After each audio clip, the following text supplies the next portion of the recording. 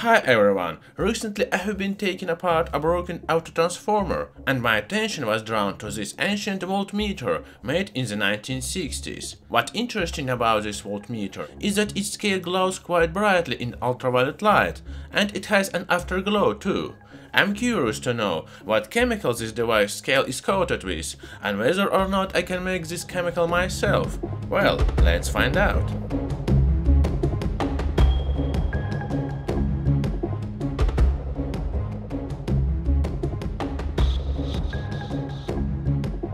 By the way, have you ever wondered what you can spend 15 minutes every day on with great benefit? I have one great answer that you will definitely love. Blinkist is a unique application that aims to develop you and with pleasure. No one wants to spend precious time reading non-fiction and documentaries, and even more so if you are busy working or studying at the university. Blinkist will do everything for you, and all you have to do is set aside 15 minutes a day to improve your horizons. Agree, because this is quite a bit. The application offers you unique and very diverse content, more than 5500 titles in 27 different categories. You download the app, turn on your favorite theme, and that's it. You can listen listen to books in excellent voice acting and read motivational articles and share with friends. And do all this on the way to work, university or just on vacation. For example, I decided to read and listen to the legendary Dune cycle by Frank Herbert. I had never looked through it before, but now there is in such opportunity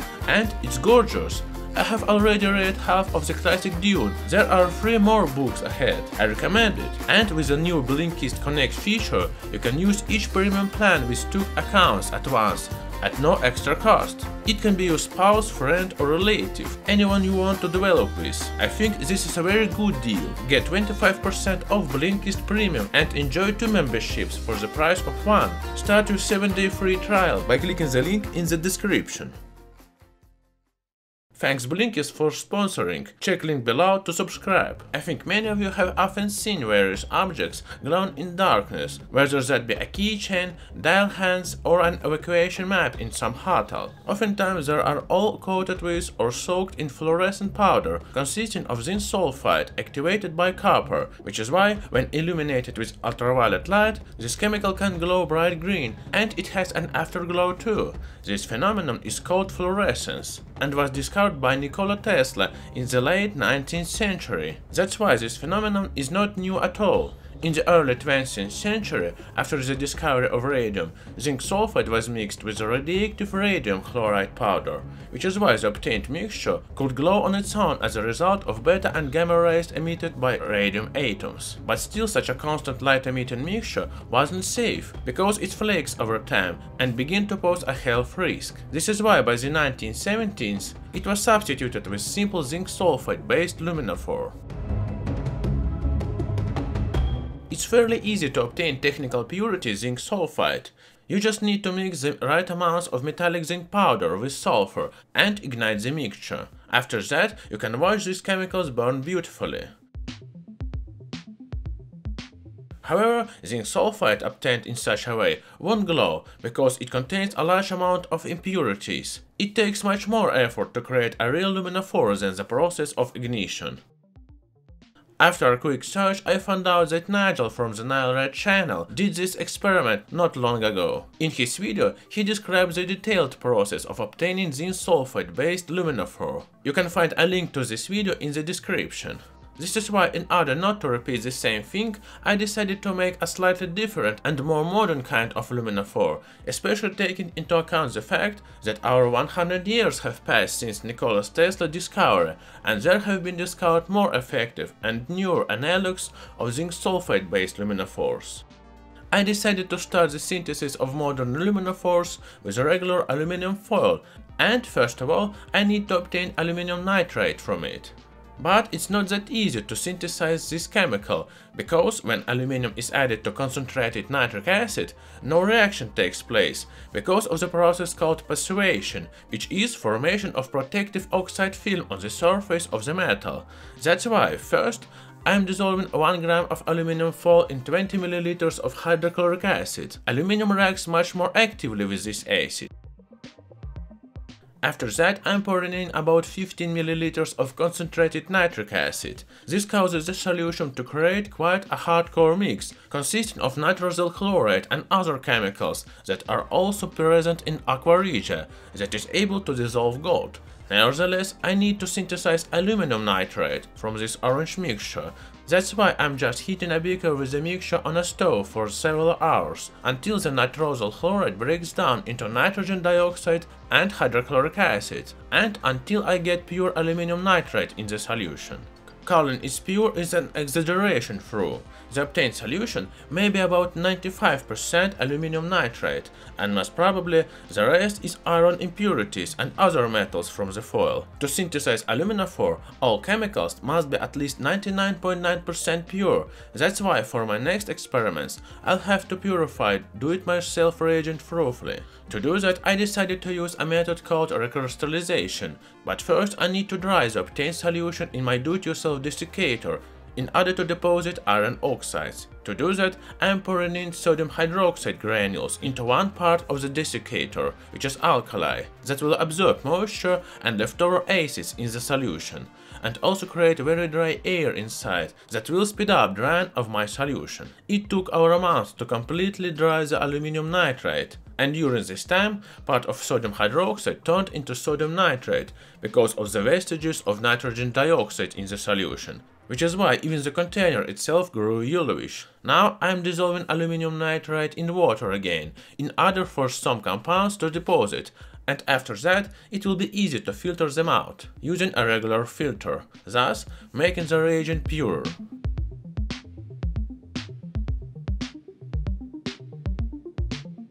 After filtering, I'm putting the aluminum nitrate solution into the desiccator again, for a month or even longer, in order for it to dry properly and form white aluminum nonahydrate crystals, which are molecules of aluminum nitrate connected with 9 molecules of water in the form of such crystals. For now, purity of this reagent isn't sufficient for synthesizing a luminophore, that's why I decided to purify this substance again, using recrystallization. In the meantime, in order to do that, I prepared several sets of raw aluminum nitrate that I'm going to dissolve in a small amount of hot water. It turned out that some sets of aluminum nitrate contained impurities, perhaps as a result of hydrolysis in the moist air, which is why the solution grew slightly murky when it was heated. I had to filter this hot solution of aluminum nitrate again several times, before it became as pure as teardrop, which is a good sign, showing the purity of this reagent. What's left to do is just to put the solution in the refrigerator for a couple of days, until the excess crystals of highly pure aluminum nitrate sink to the bottom, whereas all the impurities stay in the upper layer of the solution. Now I'm draining the upper layer of the solution and I'm putting the obtained aluminum nitrate crystals in the desiccator to sit for a month until they have dried completely. Well, just 4 months later I got highly pure aluminum nonahydrate crystals, having purity of about 99.9% that are ready to be used for synthesizing luminophores. What's left to do is just to prepare 4 more reagents, and I will be ready to obtain the newest kind of luminophores. Even though I love chemistry, I have neither strength nor time to spend several more months in order to prepare all the remaining chemicals. That's why I decided to just buy them from trusted suppliers who sell pure reagents. As a result, one month later, I received all the deliveries of the required amounts of the needed chemicals of high purity. And the first reagent I will need to synthesize a luminophore is urea. No, this is not the same urea that comes out of your body every day. Rather, this is urea synthesized at a factory, used in fertilizers. And this is the only reagent the purity of which isn't very important for synthesizing luminophores. After urea, I'm using the pure powdered aluminum nitrate nonahydrate that I have obtained. Besides these chemicals, I'll also need pure strontium nitrate. You can see the required amount of this as well as the other chemicals on your screen. After that goes boric acid, only a small amount of it is needed. Now go exotic reagents, such as europium nitrate, and we need only 11 mg of it, as well as 22 mg of dysprosium nitrate. I used an analytical balance to weight such micro amounts, because regular scales will be too inaccurate. So after waiting all the reagents, it's time to synthesize the luminophore itself, and it's quite easy. First I'm pouring all the chemicals into one bottle, and then I'm dissolving them in 2 ml of distilled water, while heating the mixture. After dissolving the chemicals, I'm adding urea and stirring it until it dissolves completely. Once the solution has become transparent, I pour it into a big beaker and put it on a stove, waiting until the content starts boiling. As soon as the solution starts boiling, I'm setting my stove to maximum heat in order to start so-called pyrosynthesis. As a result of this process, nitrates from the solution oxidize the urea and also react with each other, forming an unusual chemical which is strontium aluminate, activated by europium and dysprosium. Once the reaction is over, what's left in the beaker is only strontium aluminate white flakes, which is a new kind of luminophore that can emit light several times longer than zinc sulfide. But at that time I didn't have an ultraviolet light source in my laboratory, that's why we will test the quality of the obtained luminophore a bit later. Besides pyrosynthesis on a regular stove, some scientific articles spoke about obtaining strontium aluminate using a regular microwave oven, because it's easier to control its temperature and improve the product quality. That's why I decided to test this method and prepared one more solution for synthesizing luminophore. I put it into a beaker and put the beaker into a microwave oven.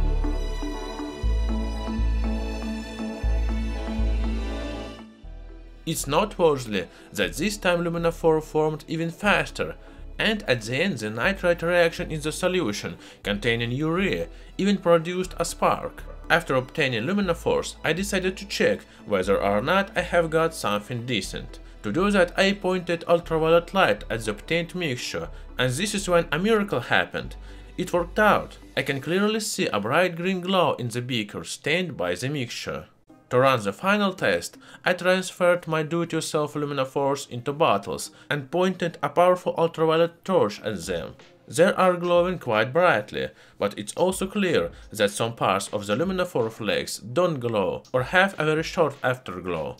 By the way, in my opinion, the right bottle with a luminophore made in a microwave oven glows a bit longer, although not much longer.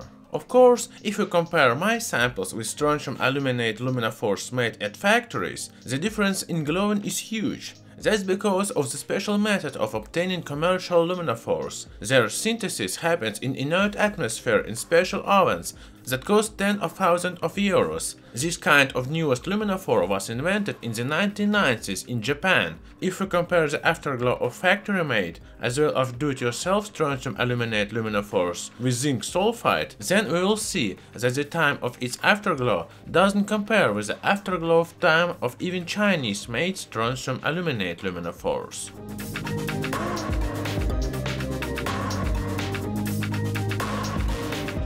For one more test, I bought a more high quality luminophore from the USA and decided to compare it to the previous samples again. As we can see, the Chinese luminophore does fall behind in terms of the afterglow time. It's worthy of note that besides green, it's also possible to make zinc sulfide and strontium aluminate based luminophores of many different colors by changing their content and additives. Thus you can create an entire palette also green luminophores still have the longest afterglow. Of course it's good that these glowing powders glow beautifully in the dark, but what other use do they have besides being used in clock hands and keychains?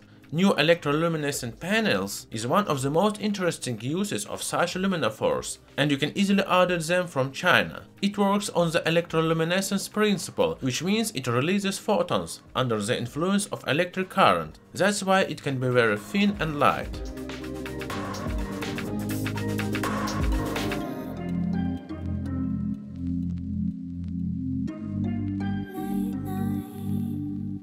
Quite easy to make a small sheet of such a panel, even in amateurish conditions. To do that, first of all, I bought special conductive glass. Each one side is coated in fluorinated tin oxide and if you touch it with multimeter test pins, then it will show that there is slight resistance on the glass. The first stage of making electroluminescent panel is creating a coating on the conductive glass with the help of tape. After that, I'm mixing a gram of copper activated zinc sulfide and gram of regular two-part epoxy resin in a small container.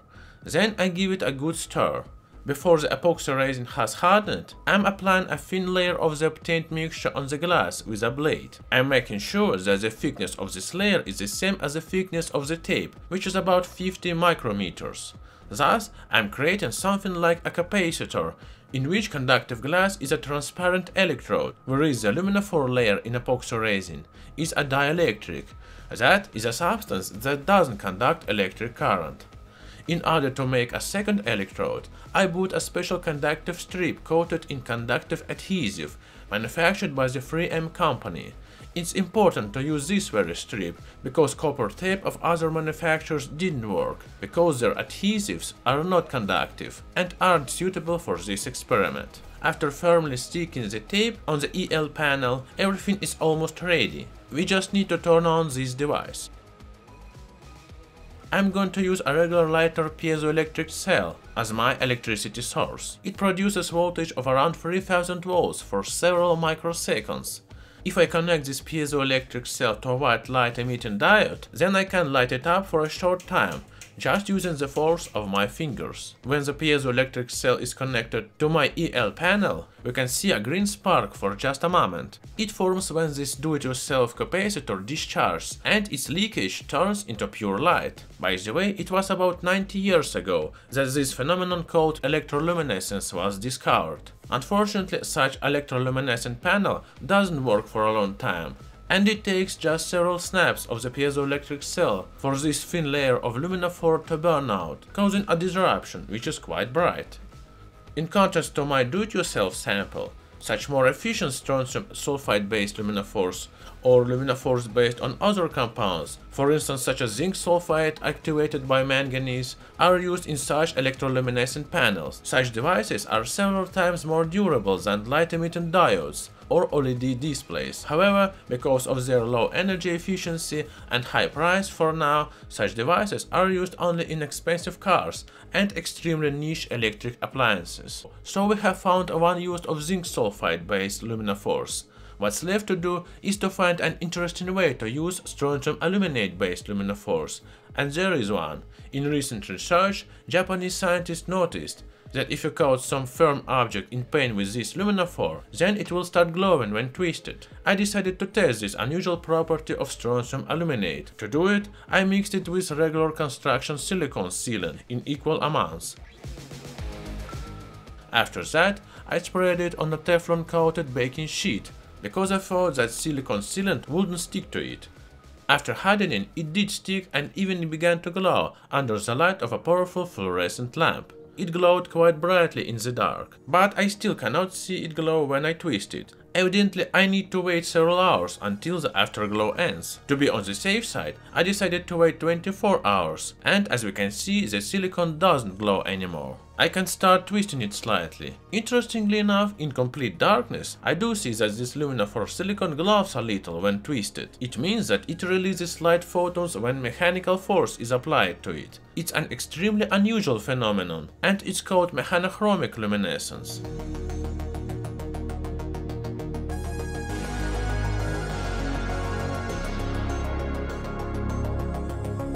It's a pity though that several minutes later, silicon itself starts glowing slightly, which is why the released light is not as visible.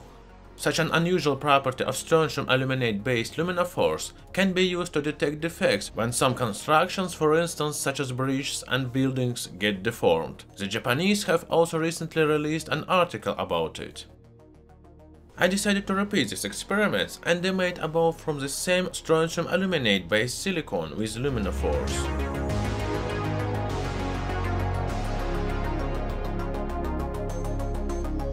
After it hardened, I attempted to make it glow by hitting it against the table, but the light was either too dim or it doesn't work like that. But when such a ball is light by ultraviolet light, it turns into a rather unusual toy for several minutes.